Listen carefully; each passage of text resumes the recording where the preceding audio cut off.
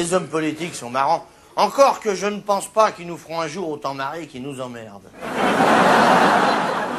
Alors on se dit, ah mais les hommes politiques, euh, je fais pour les sourds en même temps. mais-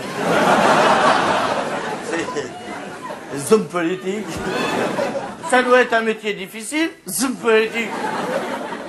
C'est pas vrai Les études, c'est très simple. Les études, c'est 5 ans de droit, tout le reste de travers. C'est pas compliqué. C'est pas compliqué.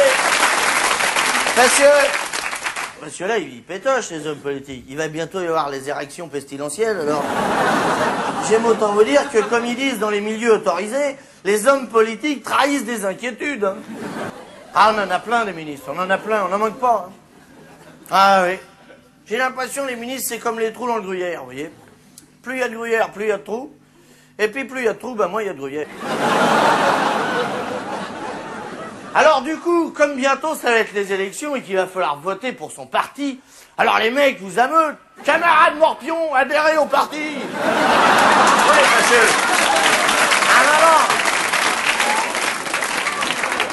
Que la politique, c'est un petit peu comme le flirt. Si on veut aller plus loin, à un moment, faut aller plus près, quoi. Vous voyez La droite a déjà son programme. Serrez-vous la ceinture, encore 5 ans, et après, vous serez habitués.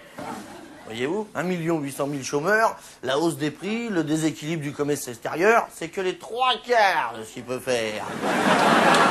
Moi, à votre place, je voterai encore pour lui, il va faire mieux, ce mec-là. Vous voyez que les quatre leaders des grandes formations politiques françaises ne sont pas les uns contre les autres, mais bien unis comme les trois mousquetaires des cinq doigts de la main. Un pour tous, tous pourris